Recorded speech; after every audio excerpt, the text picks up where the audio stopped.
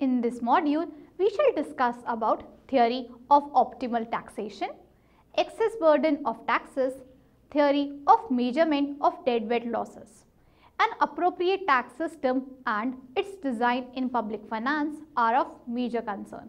Many attempts have been since ages made to get the optimal tax policy but have been a complete failure in the practical tax design because they often ignore the range of considerations reflecting fiscal and societal institutions which are very essential both in normative as well as positive analysis of taxation. In general, the standard optimal taxation procedure usually ignores the equity and efficiency relationship as taxes are always collected at a cost both to the government and the taxpayers. And similarly, this collection is enforced again at a cost to both the parties. In the following module, I have made an attempt to take into consideration all the relevant institutional features which can be incorporated into the general framework in its most general form. The suggested framework will enhance the reader's understanding of optimal tax policy in several ways. It will help one to quantify with a common barometer through which various trade-offs that taxes create. After starting this module, you would be able to know the Indian tax system and its role in public finance, learn the theory of optimal taxation, analyze the factors affecting the optimal tax structure in an economy, know the meaning of excess burden of taxation, evaluate the factors which create excess burden of taxation, understand the meaning of horizontal equity and vertical equity, learn the methods to calculate the excess burden of taxes, know the meaning of deadweight loss, analyze the relationship between excess burden and deadweight loss, learn the method to calculate deadweight loss, analyze the causes of deadweight loss. First, we shall discuss the theory of optimal taxation. Optimal tax theory is the detailed study of designing and its implantation of such a tax structure which can reduce inefficiencies and distortions in the market under the existing given economic market conditions. This standard approach of optimal taxation is primarily based on some methodological assumptions. Example, a specific amount must be raised by the government in the form of revenues. This revenue is in turn dependent on the type of tax instruments available with the government, namely only commodity taxes, only income taxes or both of them are used. The objectives of the government must be in coordination with the individual as well as firm's optimization. It should be for the social welfare. A neutral tax is the one which avoids distortions and inefficiencies completely against the general notion of economists arguing that taxes generally distort behavior. A lot in the economic system depends on the type of tax system prevalent. Next, optimal commodity taxes.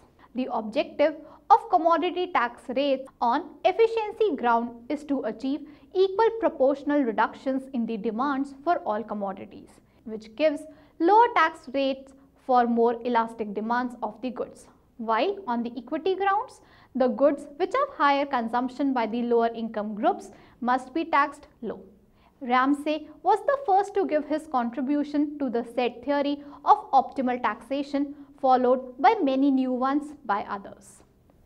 This problem is therefore also termed as Ramsey problem. His prime objective under this approach is to adjust consumption tax rates under specified constraints so that least utility can be reduced. He proposed a solution to reduce excess burden of consumption taxes stating consumption tax on each good should be proportional to the sum of the reciprocals of its supply and demand elasticities. Later, many new economists gave an alternative to Ramsey's proposition by propounding tax systems which take many tax structures simultaneously to define their theories. Next, optimal income taxes. When we talk of equity, it is said income tax should be more for those who earn more and lower for those who earn less. Even in certain cases, income tax is levied to equalize after tax incomes and therefore implying marginal tax rates to be 100%. Though on another ground that of efficiency, lower marginal tax rate brings more responsiveness in individuals in their labor decisions.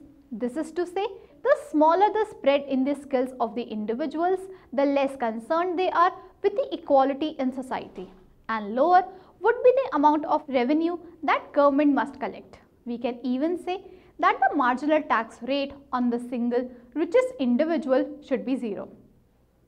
Next is optimal tax mix.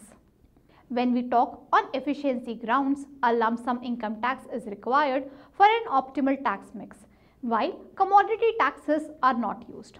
On the other hand, on equity grounds, both the commodity as well as income taxes is used, though in certain circumstances, the optimal form of commodity tax rates is made uniform under optimal income tax so that the taxation of commodities at different rates is not optimal and only optimal income tax is used.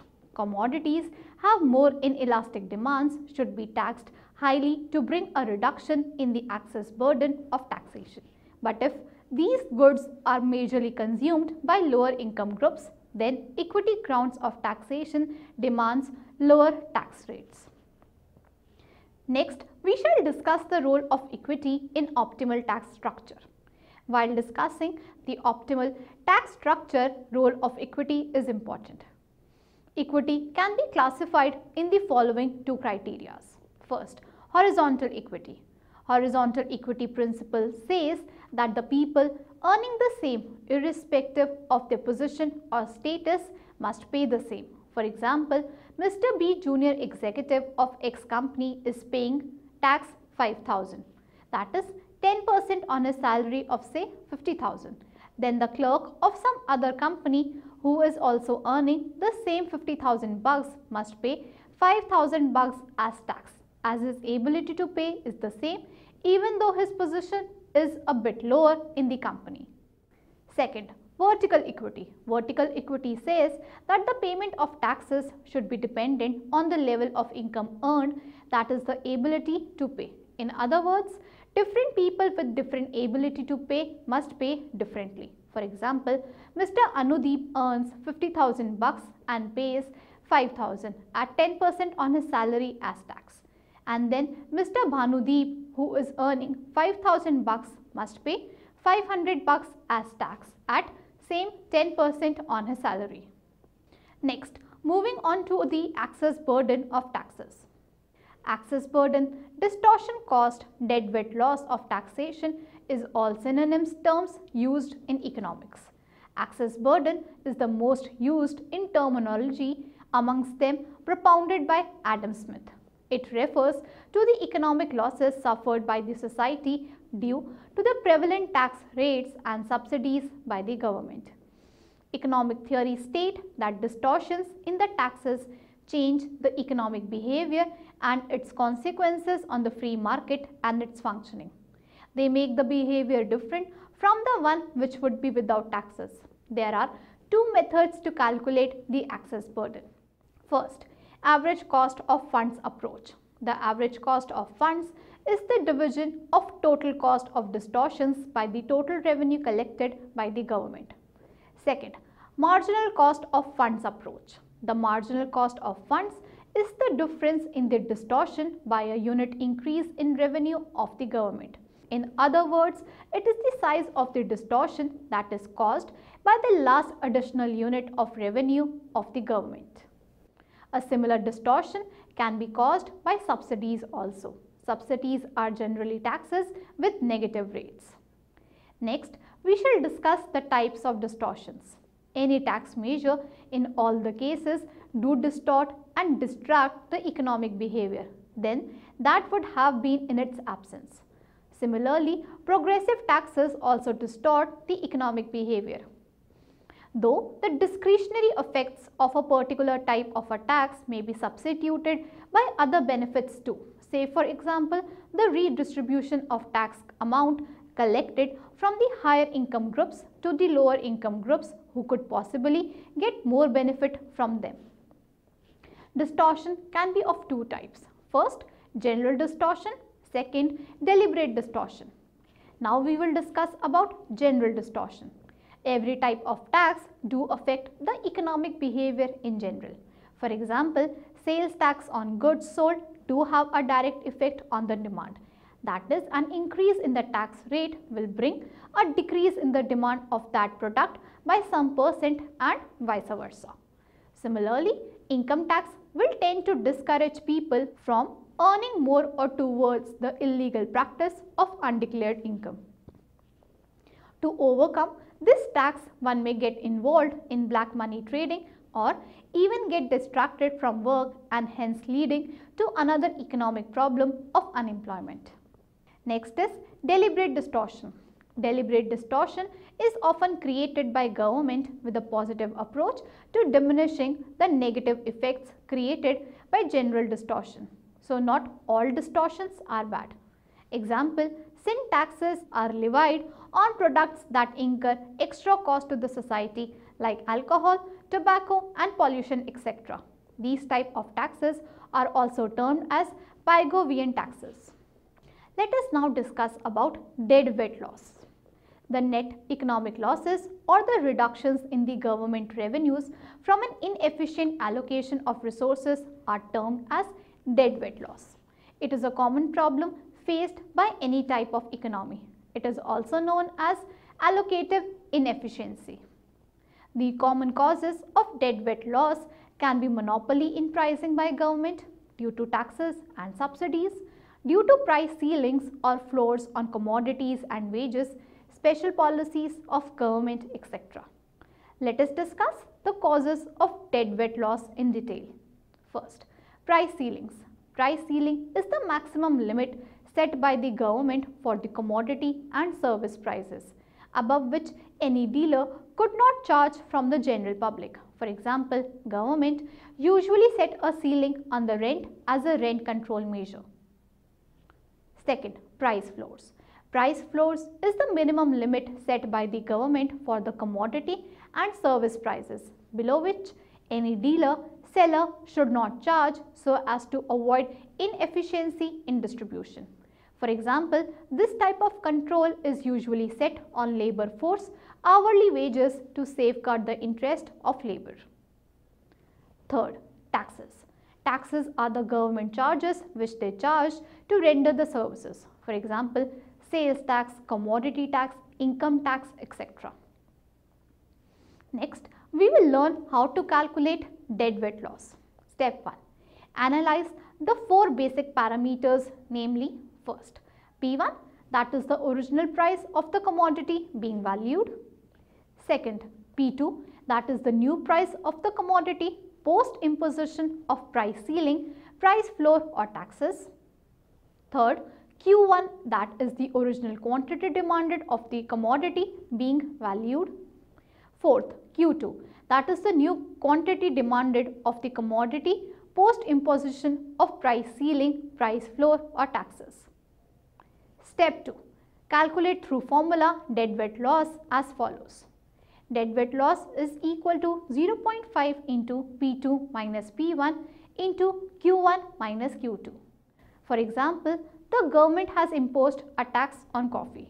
Arun paid rupees 4 before tax for a cup of coffee but now he pays rupees 5 for the same. This increase in price has reduced Arun's consumption of coffee from 5 coffees a day to 3 coffees per day.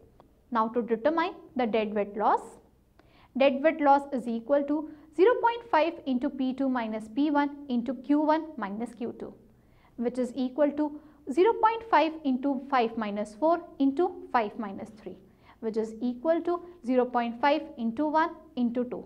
So now the deadweight loss is equal to rupees 1. So from the above example, we can see that an increase in the price of a commodity due to a change in the government taxes can lead to a certain deadweight loss. Let us now summarize what we have learned in this module. To conclude, this module talks about the tax structure in India and about some important terms used to describe the same. It also states the optimal structure and its role in designing the appropriate tax system. It describes the importance of equity and efficiency and the relationship in designing the optimal structure. It describes optimal structure as a tax structure designed in such a form that it reduces the distortions and inefficiencies in the economic system. The two common instruments in the governmental hands are commodity taxes and income taxes which it uses to raise the revenue from the general public. A neutral tax is described as a one which removes the inefficiencies and distortions completely from the economy. Equity and efficiency are two important parameters on which any tax structure is evaluated. Optimal commodity tax and optimal tax mix are three instruments to maintain the relationship between equity and efficiency. Equity is further classified on the basis of two criteria horizontal equity and vertical equity. The paper also highlights the meaning of excess burden and its consequences on the economy. Excess burden of taxation refers to the economic losses suffered by the society due to the prevalent tax rates and subsidies by the government. The two methods to calculate excess burden are average cost of funds approach and marginal cost of funds approach. Then it states different types of distortions namely general distortion and deliberate distortion. And lastly, it states the meaning of deadweight loss and the causes which give place to such losses.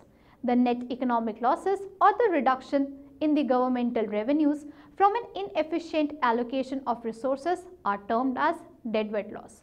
It is a common problem faced by any type of economy. The major causes being price ceilings by government, set price floors and taxes. A method to calculate deadweight loss in an year for an economy is calculated by a standard formula which is also stated in the paper in detail.